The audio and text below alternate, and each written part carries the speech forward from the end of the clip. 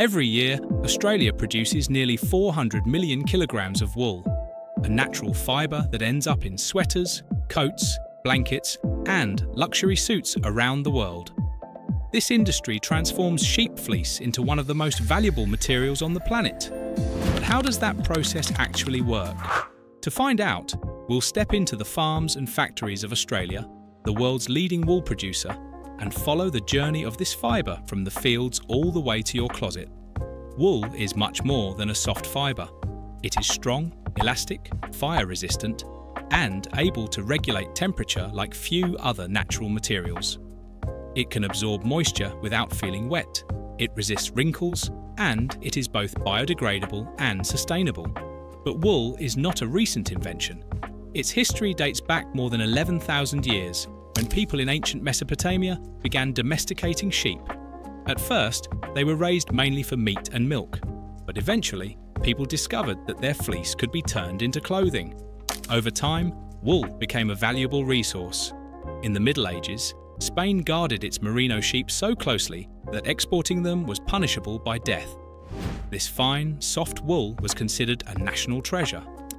Everything changed in 1797 when the British brought some merino sheep to Australia, giving rise to an industry that would later revolutionise the textile world.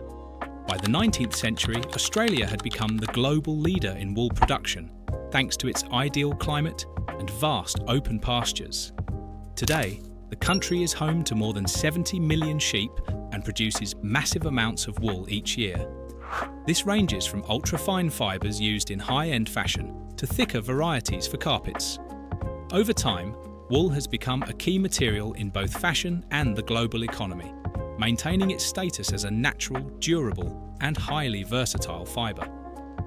So how is the finest wool in the world made? The process begins on Australia's wide open farms, where ranchers care for large flocks of sheep grazing in open fields under clear skies. The sheep, mostly breeds like Merino, Corriedale and Romney, are fed a balanced diet of grass, hay and supplements to ensure their wool grows strong, uniform and shiny. Ranchers also monitor the animal's health, vaccinating and deworming them to prevent illnesses that could affect the quality of the fibre. The most important moment comes once a year, usually in spring or summer, when the sheep are sheared. This process not only collects the wool, but also helps the animals by removing the heavy fleece during the warmer months. On average, a sheep produces between 2 and 5 kilograms of wool, depending on its breed and living conditions. For instance, a merino can produce up to 3 kilograms of fine fibre, while sturdier breeds like the Lincoln generate heavier, coarser fleece. Shearing is a job that requires strength, skill and precision. Professional shearers, often seen as athletes in the industry, work in specialised sheds where sheep are brought in groups to be sheared. A typical shearer can handle around 170 sheep in an 8-hour shift, while the most experienced ones can exceed 200. The job is so competitive that it even has a world record, set by Australian Ivan Scott in 2016, when he sheared a sheep in just 37.9 seconds and reached over 95 sheep in one hour. This fast pace demands not only skill, but also a full support team of wool handlers, graders and assistants to keep everything moving. Shearing machines are the core of this stage. They work like large electric razors with a 9cm comb and fast vibrating blades connected to an external motor through a flexible shaft. This design keeps the handle light and cool, which is essential when shearers process up to 20 sheep per hour. However, the blades wear out quickly, so they are sharpened every 30 minutes using a portable grinder. A single shearing machine can perform up to 3,000 cuts per minute, allowing the wool to be removed in one complete piece, known as a fleece, without harming the animal's skin. Animal care is a top priority. Shearers follow strict protocols. They lift the sheep by the legs, never by the wool, to avoid stress, and they return them quickly to their pens where water and food are available.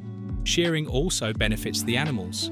After losing up to 5 kilograms of wool, sheep move more easily and increase their food intake to generate heat, which improves their nutrition. For the workers, body posture is crucial.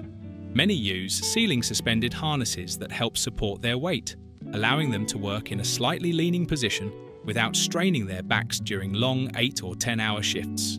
Once the sheep is sheared, the wool or fleece is a mix of fibres, natural grease, soil, and plant debris. Belly wool, which is shorter and coarser, is removed first since it has lower value and is used in products like insulation or padding. The rest of the fleece is removed in a single continuous motion, almost as if the sheep is being unwrapped, and it is taken to the sorting table. At the table, handlers spread the fleece across a wooden slatted surface that allows dirt and loose material to fall through the gaps. The dirtiest edges are trimmed by hand in a precise step that ensures product quality. Then, trained wool graders examine each fleece based on fineness, length, colour and strength. Merino wool with a diameter of 19 microns is prized for suits and high fashion garments, while thicker fibres up to 40 microns are used for carpets and upholstery. The grease in the fleece, known as lanolin, is extracted during washing and used in cosmetics such as moisturisers and lip products. This byproduct adds extra value and connects the wool industry with the beauty sector.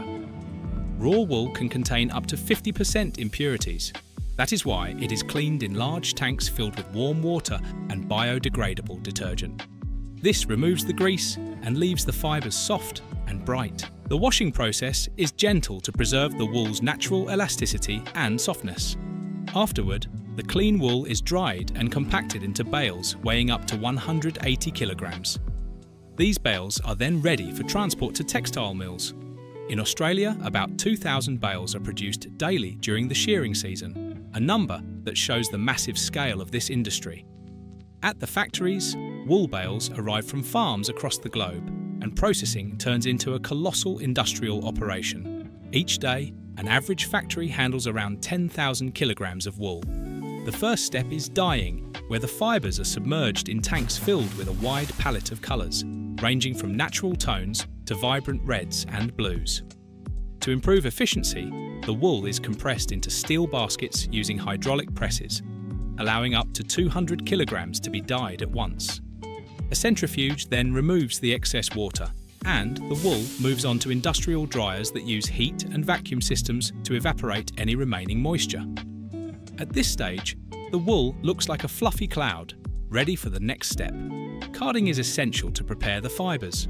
The carding machines, equipped with hundreds of rollers covered in fine wires, work like an enormous brush, detangling and aligning the fibres while removing any remaining impurities. This process can involve up to 120 rollers, each one designed to comb the fibres in a uniform direction, creating a continuous, soft strand known as a sliver. This sliver becomes the base for spinning, the stage where wool is transformed into yarn. During spinning, the sliver fibres are twisted into continuous threads, and the thickness and strength of each thread depend on the number of twists applied. For example, yarn used in sweaters may have up to 5 twists per inch, while yarn intended for upholstery requires more twists for added durability. Modern spinning machines can produce kilometres of yarn per hour, winding it onto spools that hold up to 10,000 metres of fibre. This twisting process once done entirely by hand thousands of years ago, still follows the same principle today, though now aided by machines and advanced technologies. Inside the weaving hall, yarn is transformed into fabric. Automatic looms interlace two types of threads, the warp running vertically and the weft crossing horizontally. This interlacing creates patterns that vary depending on the fabric's final use, from lightweight textiles for shirts to dense materials for coats.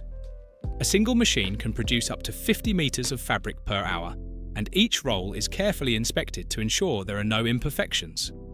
Merino wool fabrics, for example, are so soft and delicate that they are reserved for suits, dresses, and premium garments, while thicker fibres are used for more durable products such as blankets, carpets, or elegant curtains.